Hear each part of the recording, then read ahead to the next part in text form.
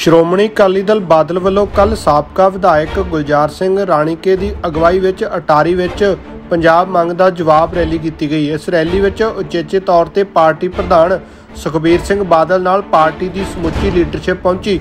ਇਸ ਰੈਲੀ ਵਿੱਚ corona virus ਦੀਆਂ ਪੰਜਾਬ ਸਰਕਾਰ ਦੀਆਂ ਹਦਾਇਤਾਂ ਦਾ ਕੋਈ ਪਾਲਣ ਨਹੀਂ ਕੀਤਾ ਗਿਆ।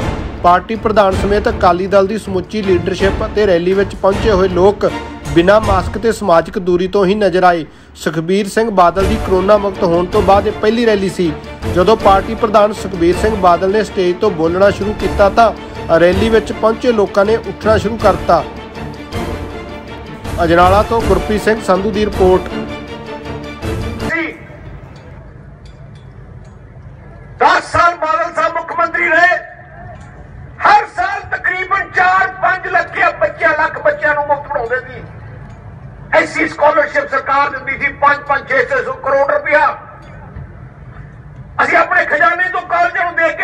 ਕੇ ਸੀ, ਜਿਸ ਦਿਨ ਤੋਂ ਕੈਪਟਨ ਅਮਰਿੰਦਰ ਸਿੰਘ ਮੁੱਖ ਮੰਤਰੀ ਬਣਿਆ, ਉਸੇ ਦਿਨ ਤੋਂ ਬੰਦ ਕਰ ਦਿੱਤਾ। ਕਲਿਆਣੀ, ਜਿਹੜਾ ਪੈਸਾ ਸੀਗਾ, ਤੁਸੀਂ ਦੇਖ ਲਓ। ਆ ਜਿਹੜਾ ਨਾ ਮੰਤਰੀ ਹੈ ਧਰਮਸੋਤ ਆਪ ਹੀ ਘੜਾ ਕੇ ਆਪਣੇ ਚੇਤੇ ਕਾਲਜਾਂ ਨੂੰ ਦੇਤਾ। ਜਾਨ ਹੁੰਦੀ ਹੈ ਵੀ ਉਹਦੀ ਜਾਲੀ ਫੈਕਟਰੀ ਫੜੀ ਗਈ। ਪਰ ਕੈਪਟਨ ਨੇ ਛੜਾਤਾ ਆ ਜਿਹੜੇ ਐਮਐਲਏ ਮੈਂ ਗੱਲ ਕੀਤੀ ਹੈ ਜਿਨ੍ਹਾਂ ਫੈਕਟਰੀਆਂ ਫੜੀਆਂ ਸ਼ਰਾਬ ਦੀਆਂ ਕੈਪਟਨ ਨੇ ਫੜ ਨਹੀਂ ਦਿੱਤੇ। ਕਿੰਨੀ ਦੇਰ ਬਚਾਲੂਗਾ ਕੈਪਟਨ? ਉਦੋਂ ਤੱਕ ਹੀ ਬਚਾ ਸਕਦਾ ਨਾ, ਜਦੋਂ ਤੱਕ ਸਰਕਾਰ ਹੈ। ਹੁਣ ਤਾਂ 4 6 7 8 ਮਹੀਨੇ ਰਹਿ ਗਏ। ਹੁਣ ਮਨੇਗਾ ਤੁਸੀਂ ਦੇਖ ਲਓ, ਨਰੇਗਾ ਦਾ ਕਿੰਨਾ ਵੱਡਾ ਕਬਲਾ ਕੀਤਾ ਹੈ ਮੈਂ ਹੈਰਾਨ ਹੈ ਮੈਂ ਸਾਰੇ ਆਪਣੇ ਹਲਕਿਆਂ ਤੋਂ ਪਤਾ ਕੀਤਾ ਹੋ ਕੀ ਰਿਹਾ ਆ ਜਿੰਨਾ ਨਰੇਗਾ ਦੀਆਂ ਇੰਟਰਲੋਕਿੰਗ ਟਾਈਲਾਂ ਤੁਹਾਡੇ ਪਿੰਡਾਂ 'ਚ ਲੱਗ ਰਹੀਆਂ ਆ। ਸਾਰੀਆਂ ਫੈਕਟਰੀਆਂ ਕਾਂਗਰਸ ਦੇ ਐਮਐਲਏ ਆਪ ਲਈ ਬੈਠੇ ਆ। ਇਹਨਾਂ ਦੇ ਕਾਂਗਰਸੀ ਲੀਡਰ ਲਈ ਬੈਠੇ ਆਪਣੀਆਂ ਫੈਕਟਰੀਆਂ। ਤੇ ਵੀਡੀਓ ਨੂੰ, ਤਹਿਸੀਲਦਾਰ ਨੂੰ ਤੇ ਜਿਹੜੇ ਅਫਸਰ ਪੰਚਾਇਤ ਸੈਕਟਰੀ, ਸਾਰਿਆਂ ਨੂੰ ਹੁਕਮ ਹੈ ਕਿ ਜੇ ਪਿੰਡ 'ਚ ਨਰੇਗਾ ਤੁਹਾਨੂੰ ਚੈੱਕ ਸਰਪੰਚਾਂ ਨੂੰ ਆਊਗਾ, ਤਾਂ ਖਰਚਾ ਜਾਊਗਾ। ਜੇ ਐਸ ਐਮਐਲਏ ਦੀ ਫੈਕਟਰੀ ਤੁਸੀਂ ਟਿਕਟਾਂ ਲਓ। ਇੱਥੇ ਵੱਡਾ ਸੀ। ਮੈਂ ਸੈਂਟਰ ਜਦੋਂ ਆਪਣੀ ਸਰਕਾਰ ਸੀ, ਉੱਥੋਂ ਅਸੀਂ ਟੀਮਾਂ ਭੇਜੀਆਂ। ਸ਼ਰਿਆਂ ਫੜੇ ਫੜ ਲਿਓ ਉਹਨਾਂ ਨੂੰ। ਸੈਂਟਰ ਚ ਆਪਣੀ ਸਰਕਾਰ ਹੀ। ਇਹਨਾਂ ਨੇ ਮਰੇ ਲੋਕਾਂ ਦੇ ਨਾਂ ਤੇ ਕਰੋੜਾਂ ਰੁਪਏ ਕਢਾ ਲਿਆ। ਮੈਂ ਤੁਹਾਨੂੰ ਇੰਨੀ ਵਿਸ਼ਵਾਸ ਹੋਣਾ ਜਿਸ ਦਿਨ ਸਰਕਾਰ ਬਣ ਗਈ ਆਪਣੀ ਜਿਸ ਦਿਨ ਤੁਸੀਂ ਆਪਣਾ ਰਾਜ ਲਿਆਂਦਾ ਪਹਿਲੀ ਦਿਨ ਨਰੇਗਾ ਦੀ ਇਨਕੁਆਰੀ ਕੀਤੀ ਜਾਊਗੀ। ਮੈਂ ਤੁਹਾਨੂੰ ਦੱਸਾਂ ਸਾਰੇ ਕਾਂਗਰਸੀ ਸਰਪੰਚ ਅੰਦਰ ਹੋਣਗੇ ਜਿਵੇਂ ਕਬਲੇ ਕੀਤੇ ਇਹਨਾਂ ਨੇ ਕੈਪਟਨ ਕੀ ਕਹਿੰਦਾ ਸੀ ਗੁਰਕਾ ਸਾਹਿਬ ਦੀ ਸੌਂ ਖਾ ਕੇ ਕੀ ਕਹਿੰਦਾ ਸੀ? ਮੈਂ 4 ਹਫ਼ਤੇ ਨਸ਼ੇ ਖਤਮ ਕਰ ਦੂੰਗਾ। ਨਸ਼ੇ ਖਤਮ ਹੋਏ? ਖਤਮ ਹੋਏ ਨਸ਼ੇ? ਵੱਧ ਗਏ ਕਿਉਂ ਵੱਧ ਗਏ ਇਹਨਾਂ ਨੇ ਆਪਣਾ ਸਾਧਨ ਬਣਾ ਲਿਆ ਕਾਂਗਰਸੀ ਐਮਐਲਏ ਨੇ। ਜਿੰਨੇ ਗੈਂਗਸਟਰ ਹੈ ਸਾਰੇ ਕਾਂਗਰਸ ਨਾਲ ਰਲ ਗਏ ਹੈ ਸਾਰੇ ਗੈਂਗਸਟਰਾਂ ਨੂੰ ਖੁੱਲੀ ਛੁੱਟੀ ਦੇ ਦਿੱਤੀ ਹੈ ਉਹ ਸ਼ਰੇਆਮ ਨਸ਼ੇ ਵੇਚ ਰਹੇ ਹੈ ਕਰੋੜਾਂ ਰੁਪਏ ਐਮਐਲਏ ਨਸ਼ੇ ਤੋਂ ਕਮਾਈ ਜਾਂਦੇ ਆ ਇਹ ਤੋਂ ਮਾੜੀ ਗੱਲ ਕੀ ਹੋ ਸਕਦੀ ਹੈ ਆਪਣੀ ਪੰਜਾਬ ਦੀ ਜਵਾਨੀ ਨੂੰ ਖਤਮ ਕਰਨ ਤੇ ਲੱਗੇ ਆ ਮੰਗ ਦਾ ਜਵਾਬ ਕਾਂਗਰਸ ਸਰਕਾਰ ਨੂੰ ਬੜੀ ਨੂੰ ਤਕਰੀਬਨ 4.5 ਸਾਲ ਲਗਭਗ ਹੋ ਚੱਲੇ ਆ ਤੇ 4 ਸਾਲ ਦਾ ਲੋਕਾਂ ਦੇ ਵਿੱਚ ਗੁੱਸਾ ਰੋ ਆ ਸ਼੍ਰੋਮਣੀ ਅਕਾਲੀ ਦਲ ਦੇ ਪ੍ਰਧਾਨ ਸਾਹਿਬ ਸਾਹਿਬ ਸੁਖਬੀਰ ਸਿੰਘ ਬਾਦਲ ਸਾਹਿਬ, ਨੇ ਸਾਰੇ ਹਲਕਿਆਂ ਦੇ ਵਿੱਚ ਰੈਲੀਆਂ ਕਰਨ ਦਾ ਜੋ ਫੈਸਲਾ ਕੀਤਾ। ਲੋਕ ਇਹ ਚਾਹੁੰਦੇ ਕਿ ਸ਼੍ਰੋਮਣੀ ਅਕਾਲੀ ਦਲ ਨੂੰ ਹੀ 17 ਦੇ ਵਿੱਚ ਵੋਟ ਨਾ ਪਾ ਕੇ ਬਹੁਤ ਵੱਡੇ ਪਛਤਾਵਾ ਉਹਨਾਂ ਦੇ ਮਨ ਨੂੰ ਲੱਗਾ।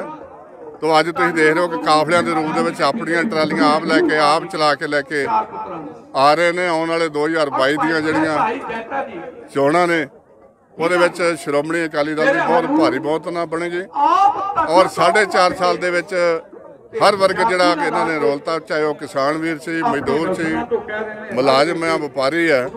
ਅੱਜ 6-7 ਮਹੀਨੇ ਹੋ ਗਏ ਕਿਸਾਨ ਅੰਦੋਲਨ ਜਿਹੜਾ ਸਾਡੇ ਵੀਰਾਂ ਦਾ, ਮਜ਼ਦੂਰਾਂ ਦਾ, ਸਾਰਿਆਂ ਦਾ ਚੱਲ ਰਿਹਾ, ਸਾਰੇ ਦੇਸ਼ 'ਚ ਚੱਲ ਰਿਹਾ।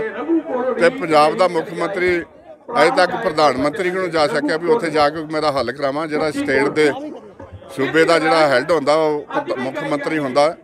ਇਸ ਕਰਕੇ ਲੋਕ ਹੁਣ ਪਛਤਾਉਣ ਲੱਗ ਪਏ ਜੇ ਮੁੱਖ ਮੰਤਰੀ ਸਰਦਾਰ ਪ੍ਰਕਾਸ਼ ਸਿੰਘ ਬਾਦਲ ਸਾਹਿਬ ਹੁੰਦੇ ਤੇ ਸ਼ਾਇਦ ਕੋਈ ਨਾ ਇਹਦਾ ਹੱਲ ਜਿਹੜਾ ਉਹ ਨਿਕਲ ਆਉਣਾ ਸੀ। ਇਸ ਕਰਕੇ ਮੈਂ ਸਮਝਦਾ ਕਿ ਸਭ ਤੋਂ ਜੇ ਮਾੜੀ ਕਾਰਜਕਾਰੀ ਜਿਹੜੀ ਹੈ ਹੋਈ ਉਹ ਇਸ ਵੇਲੇ ਇਸ ਸਮੇਂ ਦੇ ਵਿੱਚ ਕਾਂਗਰਸ ਸਰਕਾਰ ਦੀ ਹੋਈ ਆ। ਇਸ ਕਰਕੇ ਬੜੀ ਭਾਰੀ ਬਹੁਮਤ ਦੇ ਨਾਲ ਜਿਹੜਾ ਲੋਕ ਪਿੰਡਾਂ 'ਚੋਂ ਕਾਫਿਆਂ ਦੇ ਰੂਪ ਦੇ ਵਿੱਚ ਆ ਰਿਹਾ ਗੁੱਸਾ ਉਹਨਾਂ ਨੂੰ ਕਿ ਸਾਡਾ ਘਰ ਘਰ ਨੌਕਰੀ ਦੇਣ ਦੀ ਗੱਲ ਕੀਤੀ, ਕਰਜ਼ੇ ਕਰਜ਼ੇ ਮਾਫ ਕਰਨ ਦੀ ਗੱਲ ਕੀਤੀ।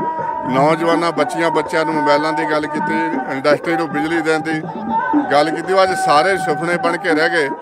ਉਹਨਾਂ 'ਚੋਂ ਕੋਈ ਵੀ ਜਿਹੜਾ ਸਾਕਾਰ ਨਹੀਂ ਹੋ ਸਕਿਆ। ਇਸ ਕਰਕੇ ਲੋਕ ਅੱਜ ਵੱਡੀ ਗਿਣਤੀ ਦੇ ਵਿੱਚ ਆ ਰਹੇ ਸਾਡੇ ਸਤਿਕਾਰਯੋਗ ਪ੍ਰਧਾਨ ਸਾਹਿਬ, ਸ਼੍ਰੋਮਣੀ ਅਕਾਲੀ ਦਲ ਦੇ ਸਾਥ ਸੁਖਬੀਰ ਸਿੰਘ ਬਾਦਲ ਸਾਹਿਬ ਥੋੜੇ ਸਮੇਂ ਚ ਆ ਰਹੇ ਆ। ਉਹਨਾਂ ਨੇ ਸੰਬੋਧਨ ਕਰਨਾ, ਆਣ ਕੇ ਸੰਗਤਾਂ ਨੂੰ ਕਿ ਉਹਨਾਂ ਦੀ ਉਡੀਕ ਕਰ ਰਿਹਾ ਮੈਂ ਸਾਰੀਆਂ ਸੰਗਤਾਂ ਦਾ ਵੱਡੇ ਕਾਫਲੇ ਜਿਹੜੇ ਲੈ ਕੇ ਧੰਨਵਾਦ ਵੀ ਕਰਦਾ। ਆਸ ਆ ਕਿ ਆਉਣ ਵਾਲੇ ਸਮੇਂ ਦੇ ਵਿੱਚ ਬਹੁਤ ਭਾਰਾ ਮੰਚ ਨਾਲ ਜਿਹੜੀ ਹੈ ਇਹ ਸਰਕਾਰ ਅੱਗੇ ਲੈ ਕੇ ਜਿਹੜੇ ਲੈ ਕੇ ਆਉਣਗੇ। 7 ਮਹੀਨੇ ਹੋ ਗਏ ਸਰਕਾਰ ਰਹਿ ਚੁੱਕੀ ਹੈ। ਉਹ ਕਾਂਗਰਸ ਦੀ ਸਰਕਾਰ ਹੈ 7 ਮਹੀਨੇ ਰਹਿ ਗਏ ਆ। ਉਹਨਾਂ ਨੂੰ ਕੱਲ ਜਿਹੜੇ ਬੱਸਾਂ ਫ੍ਰੀ ਕਰਤੀਆਂ ਲੇਡੀਜ਼ ਵਾਸਤੇ। ਜਿਹੜੀਆਂ ਬੱਸਾਂ ਕੱਲ ਚਲਾਈਆਂ ਫ੍ਰੀ ਨੇ। ਉਹ ਦੇਖੋ ਉਹ ਲੋਕਾਂ ਦੇ ਹੁਣ ਅਥਰੂ ਭਜਾਉਣ ਵਾਲੀ ਗੱਲ ਆ। ਹੁਣ 5-4 ਮਹੀਨੇ ਦੇ ਵਿੱਚ ਕਿੰਨੀਆਂ ਬੀਬੀਆਂ ਵਿਚਾਰੀਆਂ ਬਹਿ ਜਾਣੀਆਂ ਤੇ ਕਿੰਨਾ ਘਰਾਂ 'ਚ ਅੱਜ ਕੱਲ੍ਹ ਕੰਮਕਾਰ ਜਿਹੜਾ ਲੋਕਾਂ ਦਾ ਜਾਣ ਨੂੰ ਕਿਤੇ ਟਾਈਮ ਬਹੁਤ ਘੱਟ ਹੀ ਹੁੰਦਾ ਉਹਦੇ ਇੱਕ ਲੋਕਾਂ ਦੇ ਵਿੱਚ ਬਣਾਇਆ ਵੀ ਨਾ ਜਿਹੜਾ ਮੈਨੀਫੈਸਟੋ ਹੈ ਕਰਜ਼ਾ ਮਾਫ ਦਾ ਜਾਂ ਨੌਕਰੀਆਂ ਦੇਣ ਦਾ ਜਾਂ ਦੂਜਿਆਂ ਦਾ, ਸਾਰੀ ਇਹ ਗੱਲਾਂ ਵਿੱਚੇ ਰਹਿ ਗਈਆਂ। ਉਹਦੇ ਨਾਲ ਕੋਈ ਇੰਨਾ ਨਾਮ ਮਾਤਰ ਵਾਲੀ ਗੱਲ ਹੋਈ, ਕੋਈ ਏਡੀ ਵੱਡੀ ਗੱਲ ਨਹੀਂ ਹੋਈ। ਨੂੰ ਪੋਜ਼ਿਟਿਵ ਪੋਜ਼ਿਟਿਵ ਨੂੰ 네ਗੇਟਿਵ ਕਰੋੜਾਂ ਰੁਪਈਆ ਦੇ ਨਾਂ ਤੇ ਕਰੋਨਾ ਦੇ ਮਰੀਜ਼ਾਂ ਕੋਲੋਂ ਕਈ ਪ੍ਰਾਈਵੇਟ ਹਸਪਤਾਲ ਖਾ ਗਏ। ਅਮਨਦੀਪ ਹਸਪਤਾਲ ਨੇ 21 ਲੱਖ ਦਾ ਬਿੱਲ ਬਣਾਇਆ, ਇੱਕ ਚਵਿੰਡੇ ਤੋਂ ਸਾਡਾ ਬਜ਼ੁਰਗ ਸੀ। 21 ਲੱਖ ਦਾ ਕਾਹਦਾ ਬਿੱਲ ਬਣ ਉਹਨਾਂ ਦੇ ਖਿਲਾਫ ਤਾਂ ਅੱਜ ਤੱਕ ਕਾਰਵਾਈ ਕੋਈ ਨਹੀਂ। ਕਰੋਨਾ ਦੇ ਲਈ ਲੜਾਈ ਲੜਨੀ ਚਾਹੀਦੀ। ਕਰੋਨਾ ਦੇ ਰੂਲ ਦੇ ਪਾਲਣਾ ਕਰਨਾ ਚਾਹੀਦਾ, ਮਗਰ ਮੈਂ ਕਪਤਾਨ ਸਾਹਿਬ ਨੂੰ ਪੁੱਛਣਾ ਚਾਹੁੰਦਾ ਰਾਤ ਨੂੰ ਤਾਂ ਤੁਸੀਂ ਲਾ ਦਿੰਦੇ ਹੋ 9 ਤੋਂ ਸਵੇਰੇ 5 ਵਜੇ ਤੱਕ, ਤੇ ਕਰੋਨਾ ਸਵੇਰੇ ਜਾਗਦਾ, ਇਹ ਰਾਤੀ ਕੱਲਾ ਆਉਂਦਾ, ਇਹ ਤੁਹਾਨੂੰ ਜੇ ਇੰਨਾ ਪਤਾ ਹੈ ਤਾਂ WHO ਨੂੰ ਦੱਸ ਦਿਓ। ਪੁੱਠੀਆਂ ਸਿੱਧੀਆਂ ਹਦਾਇਤਾਂ, ਜਿਹੜੇ ਲੋਕਾਂ ਨੂੰ ਦੋ ਵਕਤ ਦੀ ਰੋਟੀ ਨਹੀਂ ਮਿਲ ਰਹੀ ਜਿਨ੍ਹਾਂ ਦੇ ਕਾਰੋਬਾਰ ਨਹੀਂ ਚੱਲ ਰਹੇ, ਜੇ ਫੈਕਟਰੀਆਂ ਚੱਲ ਸਕਦੀਆਂ ਨੇ, ਤੇ ਫਿਰ ਇਹ ਕਿਹੜੀ ਤਰ੍ਹਾਂ ਪਾਲਣਾ ਸ਼ੁਰੂ ਹੋ ਗਈ? ਉਹਨਾਂ ਗਰੀਬਾਂ ਦੀ ਬਾਹ ਫੜਨੀ ਨਹੀਂ, ਐਵੇਂ ਫਜ਼ੂਲ ਦੇ ਆਰਡਰ ਕੱਢੀ ਜਾਣੇ, ਜਿਹਦਾ ਅਸਰ ਕੋਈ ਨਹੀਂ ਰੋਕੀ। ਰੋਕੀ ਦੁਖੀ ਨੇ। ਲੋਕਾਂ ਨੂੰ ਵੈਟ ਦੇ ਰੂਪ 'ਚ, ਲੋਕਾਂ ਨੂੰ ਬਿਜਲੀ ਦੇ ਦਰਾਂ ਦੇ ਰੂਪ 'ਚ, ਆ ਮਾਈਨਿੰਗ ਮਾਫੀਆ ਨੂੰ 300 ਕਰੋੜ ਮਾਫ ਕਰਤਾ, ਸ਼ਰਾਬ ਮਾਫੀਆ ਨੂੰ 600 ਕਰੋੜ ਮਾਫ ਕਰਤਾ, ਤੇ ਕਰੋਨਾ ਵਾਲੇ ਦਾ ਕੀ ਮਾਫ ਕੀਤਾ? ਗਰੀਬ ਕਿਸਾਨਾਂ ਦਾ ਕੀ ਕੀਤਾ? ਗਰੀਬ ਵਪਾਰੀ ਦਾ ਕੀ ਕੀਤਾ? ਗਰੀਬ ਦਲਿਤ ਪਰਿਵਾਰਾਂ ਦਾ ਕੀ ਕੀਤਾ? ਜ਼ੀਰੋ। ਇਹ ਜਿਹੜੇ ਲੌਪਸਾਈਡਡ ਫੈਸਲੇ ਆ ਇਹ ਨੂੰ ਦਰੁਸਤ ਕਰਨਾ ਚਾਹੀਦਾ। ਸਰਕਾਰ ਲੋਕਾਂ ਤੋਂ ਦੂਰ ਹੈ। ਡਰ ਹੈ ਕਿ ਹੁਣ ਲੋਕਡਾਊਨ ਫਿਰ ਲਾਇਆ ਜਾ ਸਕਦਾ ਇਸ ਗੱਲ ਨੂੰ ਲੈ ਕੇ ਲੋਕਾਂ ਡਰ ਪਾਏ ਜਾ ਰਹੇ ਯੂਪੀ ਦੀ ਐਂਬੂਲੈਂਸ ਮੁੰਡਾ ਮੁਖਤਾਰ ਅੰਸਾਰੀ ਮੁਖਤਿਆਰ ਅੰਸਾਰੀ ਕੈਪਟਨ ਅਮਰਿੰਦਰ ਸਿੰਘ ਦਾ ਸੁਖੀ ਰੰਧਾਵੇ ਦਾ ਸਟੇਟ ਗੈਸਟ ਹੈ। ਮੁਖਤਿਆਰ ਅੰਸਾਰੀ ਜੀ ਦਾ ਨਾਂ ਪੁੱਠੇ ਸਿੱਧੇ ਕੰਮਾਂ ਲਈ ਮਸ਼ਹੂਰ ਹੈ। ਇੱਕ ਗੈਂਗਸਟਰ ਨਹੀਂ, ਜੱਗੂ ਭਗਵਾਨਪੁਰੀਆ ਸੁਖੀ ਦਾ ਯਾਰ, ਮੁਖਤਿਆਰ ਅੰਸਾਰੀ ਸੁਖੀ ਦਾ ਯਾਰ। ਉਹਨਾਂ ਵਾਸਤੇ ਕਰੋੜਾਂ ਦਾ ਵਕੀਲ ਵੀ ਦਿੱਲੀ ਜਾ ਕੇ ਕਰ ਲੈਂਦੇ ਆ। ਮਗਰ ਪੰਜਾਬ ਦੇ ਕਿਸਾਨਾਂ ਦੀ ਜੇ ਲੜਾਈ ਲੜਨੀ ਹੋ ਜਿਹੜੇ 150 ਜੇਲ੍ਹਾਂ 'ਚ ਅੰਦਰ ਦਿੱਤੇ ਆ, ਉਹਨਾਂ ਦੇ ਜਾ ਕੇ ਇਹ ਵਿਰੋਧ ਕਰਦੇ ਆ। ਜਿਹੜਾ ਸ਼੍ਰੀ ਬਰਾੜ ਹੈ ਉਹਨੂੰ 307 ਦਾ ਪਰਚਾ ਦੇ ਕੇ ਅੰਦਰ ਦਿੰਦੇ ਆ, ਤੇ ਉਹਦੇ ਲਈ ਕੇਸ ਨਹੀਂ ਲੜਦੇ, ਉਹਨੂੰ ਅੰਦਰ ਦਿੰਦੇ ਆ। ਤੇ ਜਿਹੜਾ ਲੋਕਾਂ ਨੂੰ ਖਤਮ ਕਰੇ, ਪੁੱਠੇ ਸਿੱਧੇ ਕੰਮ ਕਰੇ, ਨਾਮੀ ਗੈਂਗਸਟਰ ਹੋਵੇ, ਉਹਦੇ ਲਈ ਚੀਫ ਗੈਸਟ ਦਾ ਰੂਪ, ਸਟੇਟ ਗੈਸਟ ਦਾ ਰੂਪ ਵੀਵੀਆਈ ਫੈਸਿਲਿਟੀ ਉਹਨੂੰ ਦਿੱਤੀ ਜਾਂਦੀ ਹੈ ਅਫਸੋਸ ਨਾਲ ਕਹਿਣਾ ਪੈਂਦਾ। ਇਸ ਲਈ ਪੰਜਾਬ ਦਾ ਮਾਹੌਲ ਖਰਾਬ ਹੋਇਆ ਔਰ ਪੰਜਾਬ 'ਚ ਕੋਈ ਇੰਡਸਟਰੀ ਨਹੀਂ ਆ ਰਹੀ। ਪੰਜਾਬ 'ਚ ਬੁਰਾ ਹਾਲ ਹੈ 4.5 ਲੱਖ ਨੌਜਵਾਨ ਬੱਚਾ ਬਾਹਰ ਚਲੇ ਗਿਆ, ਨੌਕਰੀ ਮਿਲ ਨਹੀਂ ਰਹੀ ਬਿਜਲੀ ਦੇ ਦਰ ਵੱਧ ਗਏ ਸਰਕਾਰ ਫੇਲ ਹੋ ਗਈ ਆ ਪੰਜਾਬ ਨੂੰ ਆਈਸੀਯੂ 'ਚ ਲਾ ਛੱਡਿਆ ਵੈਂਟੀਲੇਟਰ 'ਚ ਲਾ ਛੱਡਿਆ। ਲੋਕਾਂ ਨੂੰ ਡਰ ਪਾਇਆ ਜਾ ਰਿਹਾ ਕਿ ਹੁਣ ਮੁੜ ਤੋਂ ਲੋਕਡਾਊਨ ਲਾਇਆ ਜਾ ਕਪਤਾਨ ਨੇ ਨਹੀਂ ਨਿਕਲਣਾ ਹੋਣਾ ਘਰੋਂ ਇਹ ਉਂ ਤਾਂ ਇਹ 2 ਗਜ ਦੀ ਦੂਰੀ ਵਾਲੀ ਵੀ ਬੰਦੇ ਤੇ ਬੰਦਾ ਚੜਾਈ ਫਿਰਦੇ ਉੱਥੇ ਬੰਗਾਲ 'ਚ। ਤੇ ਇੱਥੇ ਕਹਿੰਦੇ ਜੀ ਕਰੋਨਾ ਆ ਗਿਆ। ਕਪਤਾਨ ਨੇ ਜਦੋਂ ਇਲੈਕਸ਼ਨ ਕਰਾਉਣੀ ਹੋਵੇ ਉਦੋਂ ਠੀਕ ਹੈ ਜੇ ਲੋਕਾਂ ਦੀ ਮਦਦ ਕਰਨੀ ਹੋਵੇ ਉਦੋਂ ਕਰੋਨਾ ਇਹਨਾਂ ਨੂੰ ਚੇਤੇ ਆ। ਮੈਂ ਦੱਸਤਾ ਜੀ। ਦੇਖੋ ਪੰਜਾਬ ਦੇ ਕਿਸਾਨਾਂ ਨੂੰ ਇਸ ਤਰੀਕੇ ਨਾਲ ਬਦਨਾਮ ਨਹੀਂ ਕਰਨਾ ਚਾਹੀਦਾ। ਪੰਜਾਬ ਦੇ ਕਿਸਾਨਾਂ ਨੇ ਸਰਹੱਦਾਂ ਦੀ ਵੀ ਰਖਵਾਲੀ ਕੀਤੀ ਆ। ਪੰਜਾਬ ਦੇ ਕਿਸਾਨ ਜਦੋਂ ਫੌਜੀ ਵੀਰ ਇੱਥੇ ਆਉਂਦੇ ਆ ਉਹਨਾਂ ਦਾ ਰੋਟੀ ਦਾ ਪ੍ਰਬੰਧ ਵੀ ਅ, ਇਹ ਬਾਰਡਰ ਦੇ ਕਿਸਾਨ ਕਰਦੇ ਆ। ਬਾਰਡਰ ਦੇ ਕਿਸਾਨ ਔਰ ਪੰਜਾਬੀ ਬਾਈ ਨੇਚਰ ਇਹ ਲੋਕਾਂ ਦਾ ਸਤਿਕਾਰ ਕਰਨ ਵਾਲੀ ਕੌਮ ਹੈ ਲੋਕਾਂ ਨੂੰ ਪਿਆਰ ਕਰਨ ਵਾਲੀ ਕੌਮ ਹੈ ਪ੍ਰਵਾਸੀ ਵੀਰ ਇੱਥੋਂ ਨੇ ਉਹਨਾਂ ਨੇ ਧਰਤੀ ਨੂੰ ਅਪਣਾਇਆ ਕਿਉਂ? ਕਿਉਂਕਿ ਪੰਜਾਬੀਆਂ ਨੇ ਉਹਨਾਂ ਨੂੰ ਅਪਣਾਇਆ। ਸਾਡੀ ਇਕਾਨਮੀ 'ਚ ਉਹਨਾਂ ਦਾ ਵੱਡਾ ਯੋਗਦਾਨ ਹੈ। ਇਸ ਲਈ ਹਾਂ, ਕੋਈ ਇੱਕਾ ਦੁੱਕਾ ਕੇਸ ਹੋਣਾ, ਉਹਦੇ 'ਚ ਤੁਸੀਂ ਸਾਰੇ 500 ਕਿਲੋਮੀਟਰ ਦੀ ਬਾਰਡਰ ਦੇ ਇਲਾਕੇ ਦੇ ਕਿਸਾਨ ਹਾਂਜੀ? ਇਹ ਸਾਰਾ ਸਿਆਸੀ ਇਹ ਇਹ ਸਿਆਸੀ ਸ਼ਰਾਰਤ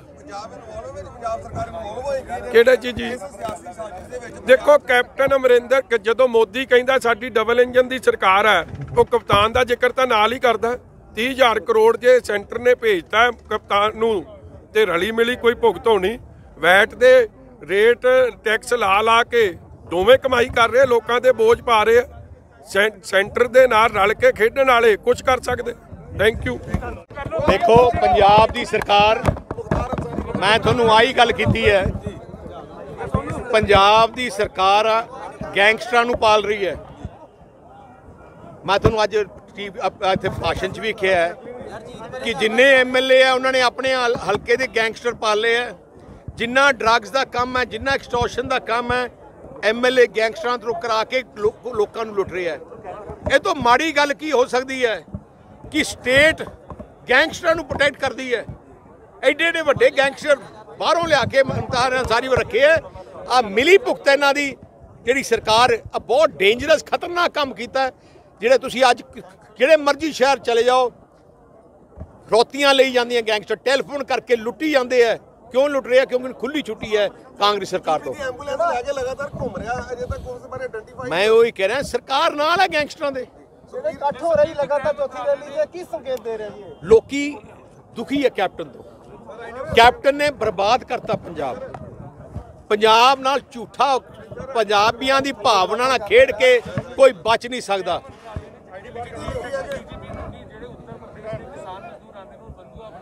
ਸਰਹੱਦੀ ਪਿੰਡਾਂ ਦੇ ਵਿੱਚ ਉਹਨਾਂ ਨਸ਼ਾ ਕਰਵਾਇਆ ਜਾਂਦਾ ਉਹਨਾਂ ਦੇਖੋ ਸੈਂਟਰ ਦੀ ਸਰਕਾਰ ਦੇ ਮਨ 'ਚ ਕਿਸਾਨਾਂ ਦੇ ਪ੍ਰਤੀ ਮੈਂ ਉਹੀ ਕਹਿਣਾ ਇੱਕ ਨਫ਼ਰਤ ਜੀ ਜਾਗ ਪਈ ਹੈ ਪੰਜਾਬ ਦੇ। ਹਰ ਚੀਜ਼ 'ਚ ਉਹਨਾਂ ਨੂੰ ਬਲੇਮ ਕਰਨ ਦੇ ਲੱਗੇ ਆ ਸੋ ਇਹ ਤੁਸੀਂ ਜੇ ਲਿਖਿਆ ਪ੍ਰੂਫ ਦਿਓ। ਨਹੀਂ ਬੜੇ ਕਿਉਂ ਕਰ ਰਹੇ ਨੇ? ਕਿਉਂ ਕਰ ਰਹੇ ਨੇ? ਫਿਰ ਨਸ਼ੇ ਦਾ ਮੁੱਦਾ ਠਾਲਿਆ ਜਾ ਰਿਹਾ। ਕਿਉਂ ਕਰ ਰਹੀ ਕੇਂਦਰ ਸਰਕਾਰ? ਨਸ਼ੇ ਦੇ ਮੁੱਦੇ ਕਿਉਂਕਿ ਆਪਣੀਆਂ ਕਮਜ਼ੋਰੀਆਂ ਨਟੋਰਿਆ ਕਿਉਂਕਿ ਮੈਂ ਤੁਹਾਨੂੰ ਅੱਜ ਗੱਲ ਕੀਤੀ। ਨਸ਼ੇ ਨੂੰ ਪੰਜਾਬ ਦੇ ਸਰਕਾਰ ਆ ਵਪਾਰ ਬਣਾ ਲਿਆ। ਆ ਜਿਹੜੇ ਐਮਐਲਏ ਐ, ਆ ਗੈਂਗਸਟਰ ਪਾਰੀ ਬੈਠੇ ਐ। ਸਾਰੇ ਹੀ ਗੈਂਗਸਟਰ ਤੁਸੀਂ ਪੁੱਛ ਲਓ, ਹਲਕੇ ਵਾਈਜ਼। ਮੈਂ ਫਿਰੋਜ਼ਪੁਰ ਗਿਆ, ਉੱਥੋਂ ਐਮਐਲਏ ਨੇ ਪਾਲੀ ਬੈਠੇ ਐ ਔਰ ਦਿਹਾਤੀ ਫਿਰੋਜ਼ਪੁਰ ਦੇ ਉੱਥੇ ਐਮਐਲਏ ਜ਼ੀਰੇ ਵਾਲੇ ਨੇ ਪਾਲੀ ਬੈਠੇ ਐ ਆ ਸਾਰੇ ਅੱਗੇ ਰੱਖੇ ਗੈਂਗਸਟਰ, ਜਿਨ੍ਹਾਂ ਨੂੰ ਖੁੱਲੀ ਛੁੱਟੀ ਦਿੱਤੀ ਹੈ ਨਸ਼ਾ ਵੇਚਣ ਨੂੰ ਤੇ ਉਹਨਾਂ ਨੂੰ।